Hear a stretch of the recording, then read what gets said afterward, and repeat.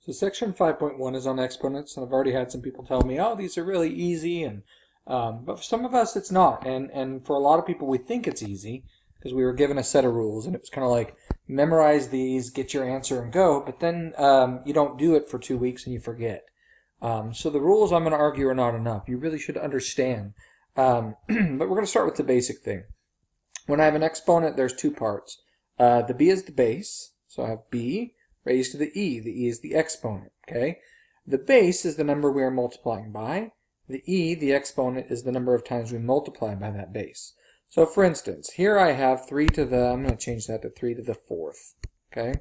So 3 to the fourth, what that means is multiply by the base, multiply by 3, how many times? This does not mean 3 times 4. We already have something for that. It's called 3 times 4. Literally what this means is multiply by that base, multiply by that 3, 4 times. We multiply by the 3, 4 times, right? And so then we could multiply that. 3 times 3 is 9. 9 times 3 is 27. 27 times 3 is 81. So 3 to the fourth power is not 12, it's 81.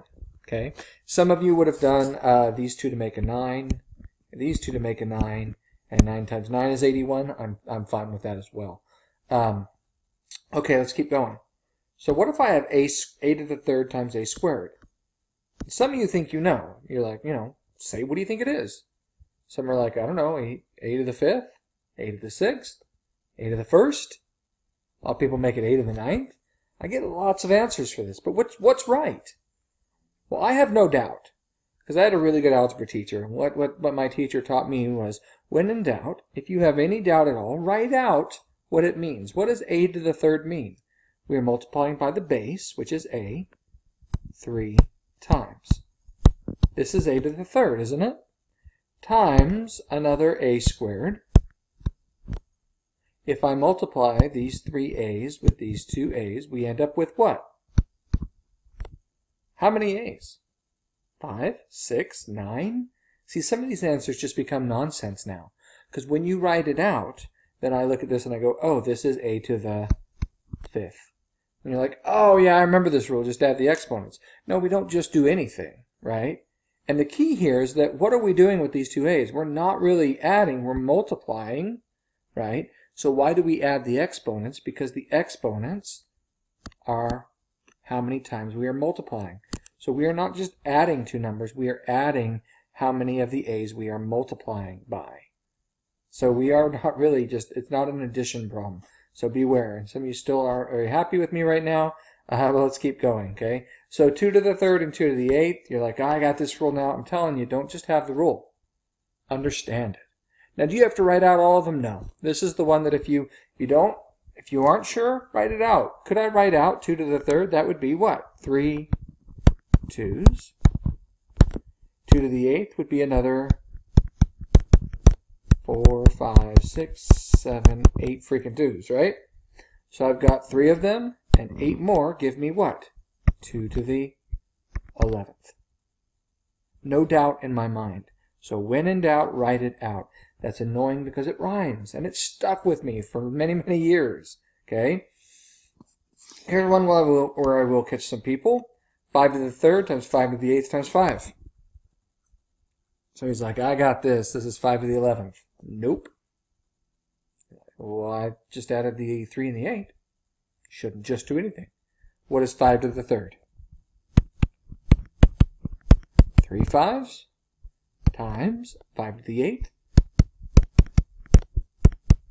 four, five, six, seven, eight freaking fives times another five at the end. Count the fives. Three, four, five, six, seven, eight, nine, ten, eleven. There's not eleven. There are twelve. Technically, I could call this 5 to the first and add the exponents, but you're not really, it's not really just adding, it's not an addition problem, you're adding exponents. You're adding the number of times you're multiplying by 5. We are multiplying by 5 a total of 12 times. if I have r plus s to the seventh, r plus s to the sixth, I'm not going to write this one out, right? We write it out when it's easy so that I can handle it and understand it when it's harder. What's our base? What's our group that we're multiplying by this time? And how many times am I multiplying it? Seven times and six times would give me a total of 13 times. Could I write that out there? Yes, I could write out r plus s 13 times. But the idea is what? Write it out when it's easy so that when I get to something harder, I don't have to go, what's the rule? The same rule that makes sense up here makes sense down here. Okay? In all honesty, the adding is probably the, the, the only rule that I really kind of like. Um, this, the idea of subtracting, oh, drives me crazy. Because you subtract and soon you got to deal with negatives, it gets all crazy. Here's what I do. I have a to the fifth over a to the third. I know that a divided by a would cancel out, leaving me with a 1, right? So how many a's are on the top? And, and by the way, if you have doubt about this, again, write out how many a's are on the top, how many are on the bottom, and start canceling. Every a divided by a becomes a 1, becomes a 1, becomes a 1. So what am I left with? a squared. That, I have no doubt. You write it out, you do it. Some of you are like, oh yeah, it's just 5 minus 3. Awesome. Do this one, a to the third over a to the fifth. If you do a subtraction problem, you're going to end up with a to the negative 2, which is actually not the way we want the answer anyway. And some of you know how to fix that, and that's fine. But here's all I would do. I would write out on the top, 3 a's, and I would write out on the bottom, uh, I got to make some more room here. There we go. I would write out on the bottom 5 A's. Because currently this is not the answer we're looking for, right? And I would start canceling. 1, 1, 1. How many are on the top? 3. How many are on the bottom? 5. Cancel them. What's left? Well, a squared. But here's the problem. Not just what's left, where is it left? Because the answer is not a squared. That a squared was left on the bottom of the denominator. Well, wait a second, so stick it on the bottom. What goes on top? What's left up there? Some people will say nothing. They all disappeared. Uh, no, because anything divided by itself is not nothing. Anything divided by itself would make 1. 1 over a squared, and that's the answer I would want. That's the answer you need to have. Yes, you can use subtraction, make it a negative exponent and fix it. Um, I would just, and, and like I said, I don't have to write this out. I can think about how many are on the top, how many are on the bottom, cancel them, and find out what's left and where. For instance, I will write this out, and some of you may need to because maybe you still have some doubt. But I would look at this and go, right, how many sevens are there? Nine on the top, four on the bottom. How many in common that would cancel out? Four of them would cancel, leaving me with five. Five where? On the top. If you want to put something on the bottom, you could stick a one there. It's not really necessary. Okay? You're like, I don't know, I just like the rule. I'm telling you, it's going to get you in trouble, and, and I hope you would know by now. I, I understand you also have a lot of experience, but um, I have a lot of experience with the math. And I'm telling you, I've worked with students uh, for years that they thought they knew the rules of exponents and then they get to it and they have doubt. And if you would just take the time and write it out, five, six, oh friggin' seven, eight, nine, over four. And then what? Cancel out. How many are on the top? How many are on the bottom? Cancel, leaving us with 5 on the top. There's no doubt in my mind. I can I can go straight from this to this, but it's not by using any rules. I'm doing this in my head. And some of you are too, and that doesn't bother me, but I'm telling you, until you can do that in your head, you should not be applying any rules. This should make sense. You get to Math 51, you're going to be doing this with some crazy, crazy rules and some crazy numbers and people start shutting down and going, "This is nah, this is too hard. The rules aren't working for me anymore." So it should make sense right now when it's easy, so that when we get to where it's harder, you will be able to do those as well. What do I do when it's a mixture of things? Well, I could write it all out. Here's what I would do. Take the 4 over 6. Reduce it. 4 and 6 are both divisible by. So I know my answer is going to start with a 2 on the top and a 3 on the bottom. So basically reduce the numbers. Now cancel the variables. We have 5p's on the top, 2 on the bottom. I see 2 canceling out, leaving me with p to the third on the top. q to the seventh over q. I see 7 q's on the top, 1 on the bottom. So when they cancel, I'm left with 6 on the top. If that didn't make sense to you, then I would do this. Take the 2 thirds and write out. And then write out 1, 2, 3, 4, 5, 6, 7. And 1 cancels, leaving us with 6. Um, you're like, well, that takes too long. I understand. I understand it takes time. But what always drives me crazy is I will watch people try to use rules and save time and then miss questions. And they miss so many questions that they fail a test. And I go, well, you haven't really saved yourself any time because now you have to retake the course. That makes no sense to me. And then I finally convince those people to write them out, and they start writing them out, and they start making sense. They start getting the right answer. If you have any doubt on any of these rules, you should always be able to write them out. 3x squared y to the fifth, 27x to the ninth y to the fifth. Let's start with the numbers. 3, 27. Those are reducible, divisible by 3. Makes that on the top 1 over 9. Talk about the x's. Currently on the top I see two x's. On the bottom I see 9. I'm not, once again, I'm doing this in my head. 2 cancel, leaving me with 7. Where?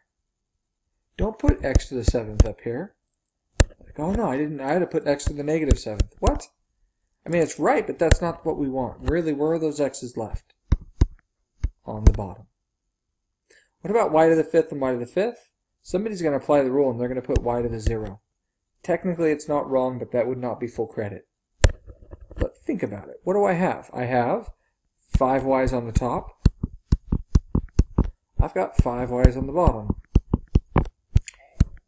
They all cancel out. So where do I leave y's? They're all gone. This is the answer we're looking for. All the y's completely canceled out. Not that they disappeared, they just made a whole bunch of ones. This brings up two things. It brings up a zero exponent, and it also brings up negative exponents, and so I want to talk about those real quick. I know that 3 to the first is 3. I also know that 3 squared is what? Well, 3 times 3, or 9.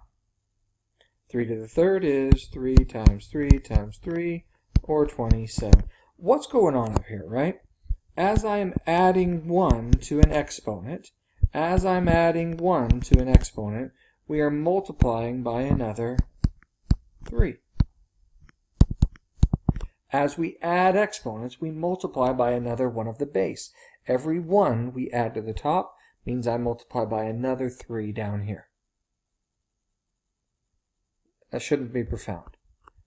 What about this though? What if I want to go backwards? 3, 2, 1, 0.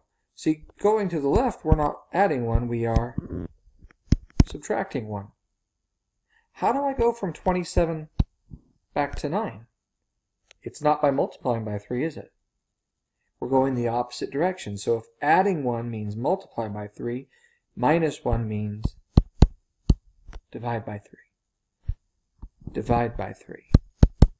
So how do I go from 3 to the 1 to 3 to the 0? The most common mistake is that people here will tell me that this is 0. And that's incorrect. Because going to the right, we are multiplying by 3, multiply by 3, multiply by 3. Going to the left, we are dividing. So 27, 9, 3. What is 3 divided by 3? 3 to the 0 power is 1. What's 3 to the negative 1? What if I go back one more? Well, then I'm going to divide by another 3. What's 1 divided by 3? Besides kind of a scary decimal? Let's just call it 1 third. What if I divide 1 third by 3? It becomes 1 over 9. As we go to the right, we are multiplying by 3. As we go to the left, we are dividing by 3. Positive exponents mean multiply by the base. Negative exponents mean divide by the base. So this works for 3. 3 to the 0 is 1. Does this work for any number? Yim? Well, let's see. x stands for any number, right? x to the first is just x. x squared means x to the third means what are we doing as we add 1? We are multiplying by another, shouldn't use that for multiply. We are multiplying by another x. We are multiplying by another x as we go to the right. So what if I want to go to the left? Instead of multiplying by x, we divide by an x. We divide it away. We divide it away. x to the third divided by x, 1 cancels, leaving me with x squared. x squared divided by x, 1 cancels. Going to the left. What is x divided by x? What about negative 1? What about negative 2? Take that, going to the left, and divide it by x. Makes it 1 divided by x. The next one would be 1 divided by x twice, or 1 divided by x squared. This is a big deal because this means if it works for x, that it works for any number. X stands for any real number. Zero is kind of an exception with this. We're not trying to get caught up in that. But X, right, we're assuming X is some number, you know, one or higher, decimals even. Anything but zero, basically. But anything that is raised to the zero power equals what? 1. X to the zero equals 1, which means that any number raised to the zero power is 1. What about 3 to the negative third? do not make that negative 9. That's not what an exponent means, right? Positive exponent means multiply by the base. So a negative exponent means the opposite. Instead of multiplying by the base, we are dividing by the base. So what is x to the negative 1? It literally means take 1 and divide it by x. And some of you are like, oh yeah, I remember that. This travels down and the exponent just magically becomes positive and I did that and I got my gold star. And that's fine, but it should make sense. If a positive exponent means multiply, then a negative exponent is the opposite. It means divide.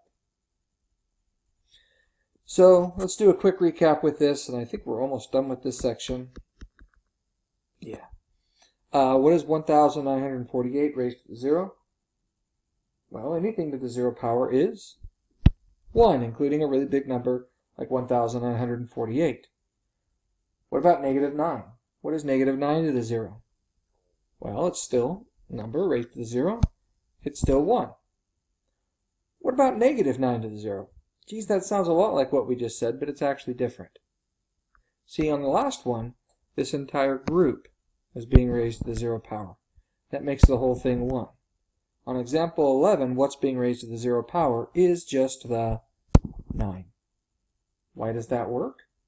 PEMDAS, parentheses, exponent, multiply, divide, add, subtract. See, this 0 is an exponent, right here, right?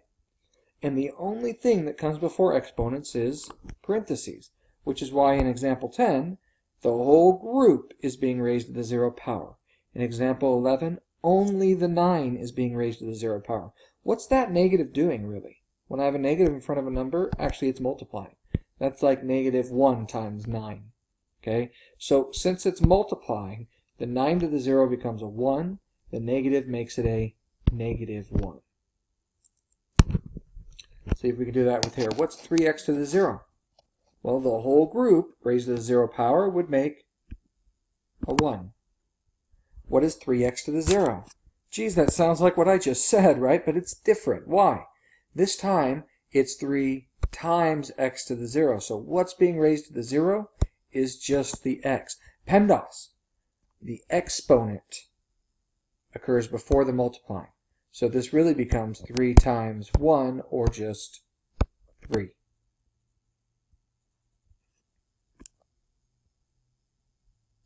What's 7 squared to the fourth? You're like, oh, I remember there's a rule for this. Somebody's going to tell me 7 to the sixth. Somebody's going to tell me 7 to the eighth. Somebody's going to tell me 7 to the 16th. I'll give you a hint. If you have any doubt, write it out. What does 7 squared mean? Now that group is being raised to the fourth power, which means that 7 squared is occurring four times. When I look at all that, I'm multiplying all those sevens together, you tell me, are there six? Are there eight? Are there 16?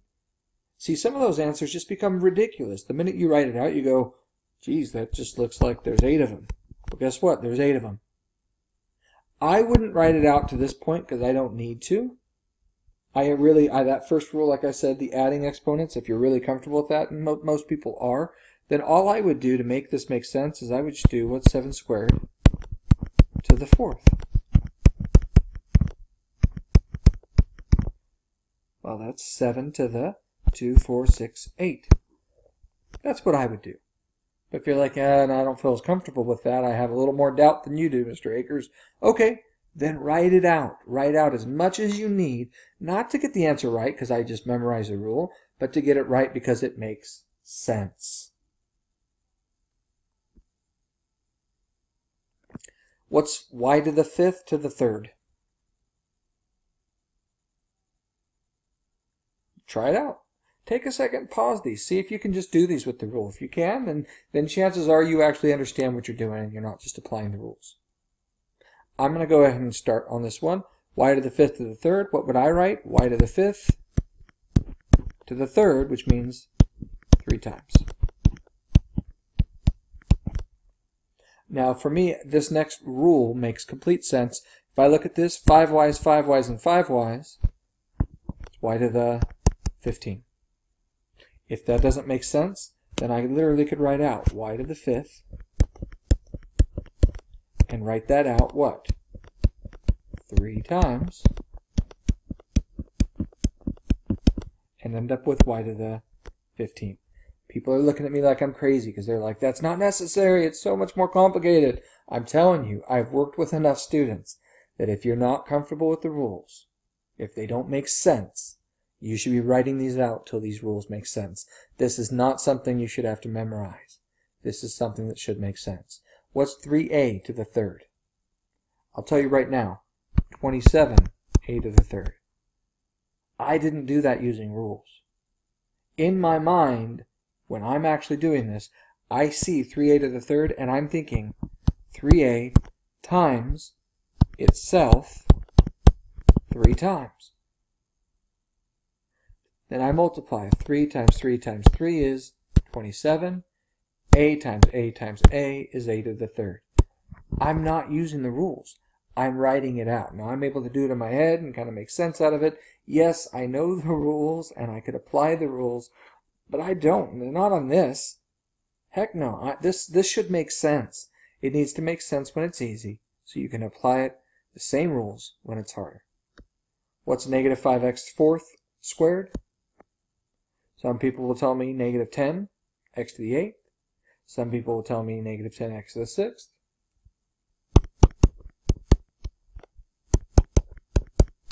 I'll have some people tell me 10x to the 8th, 10x to the 6th.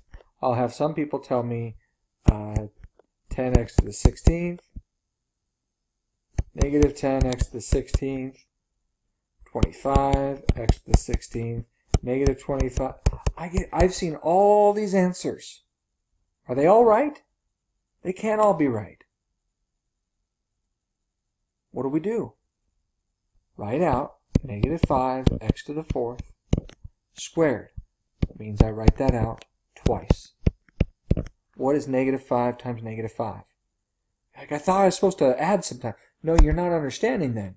We were never really adding. We were multiplying. When you are adding exponents, you're adding the number of times you multiply. You're confusing yourself. Write it out. Negative 5 times negative 5 is positive 25. x to the fourth and x to the fourth is x to the eighth. I'm not really adding there. What am I doing? I'm adding how many times we are multiplying, but we're really multiplying by x eight times.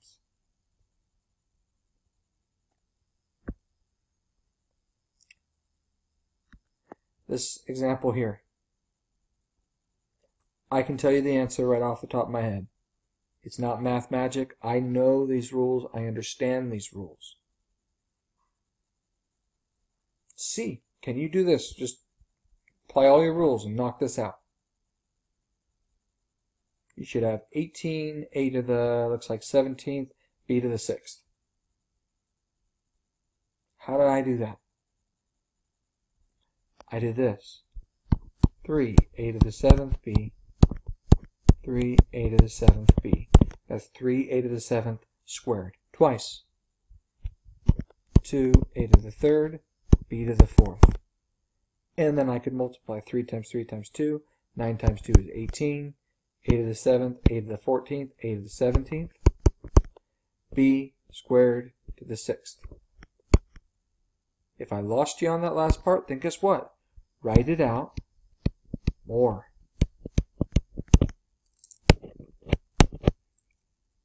And you're like, ah, but it takes forever. It doesn't matter if it helps you get it right. If it helps you get it right and it helps it make sense, that's more important than saving yourself 20 seconds. 3, 9, 18. Count the A's. 7, 8, 9, 10, 11, 12, 13, 14, 15, 16, 17. Count the B's. 1, 2, three, four, five, six. No doubt in my mind, because I haven't memorized these rules. I get them. They make sense.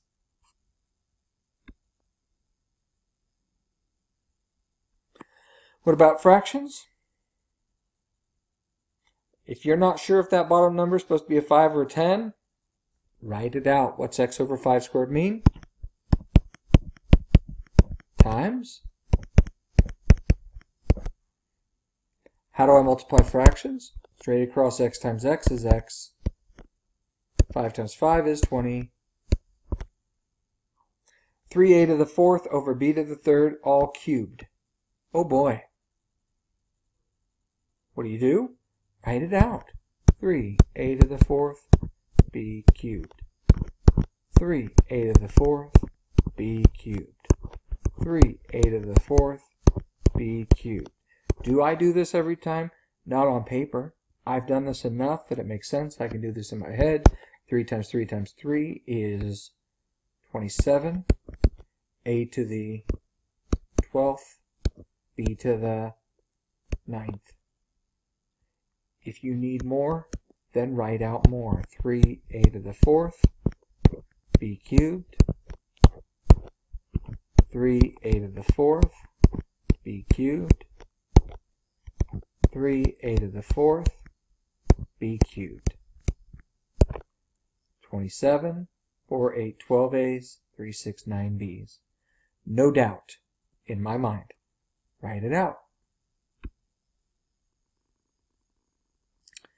I'm going to leave this here for a second. Uh, yeah, there we go. So um, this is kind of all of our rules but I'm telling you, you know, copy it down, have this in your notes. Um, but this is not something you should have to memorize. All of these rules should make sense. Our product rule, a to the m times a to the n, yes, I can add the exponents. Does that make it an addition problem? No. We are multiplying, which means we are adding the exponents. We are adding the number of times we multiply by that base. Quotient rule, oh, I hate this rule because it just jacks the people if you don't understand it. Yes, I can subtract them. I don't like to. I like to write it out, cancel, see what's left. I'm not lying, that's how I do these. Power rule, yes, I can take the exponents and I can multiply them. People get themselves in trouble with this, so what do you do? I'd write it out. AB to the n, that n distributes like magic. No, write out AB times AB. Well, n times. Hey, I know it's kind of complicated, but basically each thing gets raised to the nth power. Fraction, each term gets raised to the nth power. I wouldn't be using these rules, not in this course. Now you get to my Math 51, I'm going to be telling you, you need to know these rules. And you should have had a good Math 55 teacher that made you write it out so you understood it, so that now that you're in Math 51, we're going to apply it to some crazy stuff. Also, anything raised to the zero power is 1. Anything to the first power is itself. And we're going to leave it at that. I'll pick up with that on the next section.